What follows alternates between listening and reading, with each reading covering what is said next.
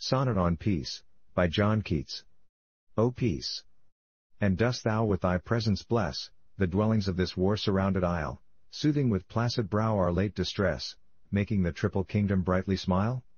Joyful I hail thy presence, and I hail, the sweet companions that await on thee, complete my joy let not my first wish fail, let the sweet mountain nymph thy favorite be. With England's happiness proclaim Europa's liberty. O Europe! Let not sceptred tyrants see, that thou must shelter in thy former state, keep thy chains burst, and boldly say thou art free. Give thy king's law leave not uncurbed the great, so with the horrors past thou'lt win thy happier fate.